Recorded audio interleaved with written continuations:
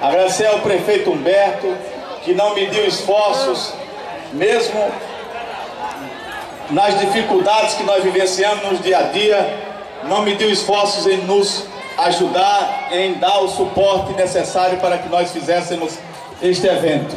Agradecer a todas as secretarias, Secretaria de Saúde, de Assistência Social, de Agricultura, de Obras, de Infraestrutura. Agradecer aos nossos diretores das unidades escolares que, de forma brilhante, contribuíram para que o nosso evento acontecesse e acontecesse na plenitude que ocorreu. Agradecer também a todos os profissionais técnicos da Secretaria de Educação, a todos os professores e profissionais das escolas que não mediram esforços para que nós tivéssemos o brilhantismo que tivemos hoje. Eu gostaria de ser breve, até por conta do tempo, mas de demonstrar todo o meu, a minha satisfação da prova do trabalho que nós temos desenvolvido lá na Secretaria de Educação com a nossa equipe. E hoje vocês puderam perceber o momento que nós vivemos no cotidiano da escola. Hoje vocês viram o protagonismo dos nossos alunos, os nossos alunos sendo protagonistas da sua história.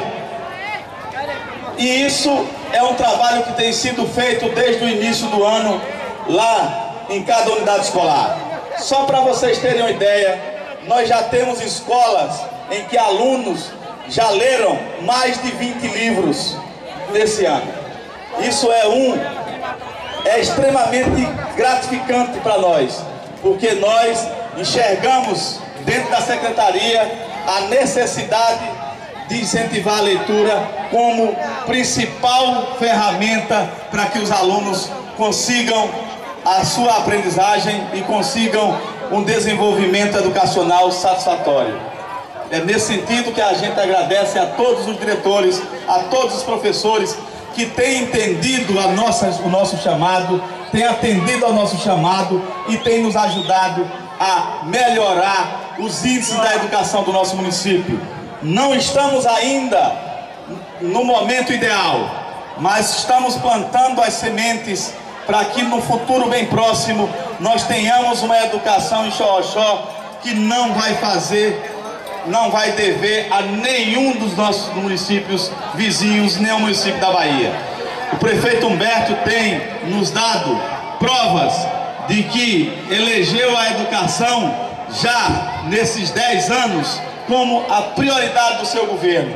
E nós temos buscado dar, dar o retorno a essa confiança e a esse investimento. Muito obrigado.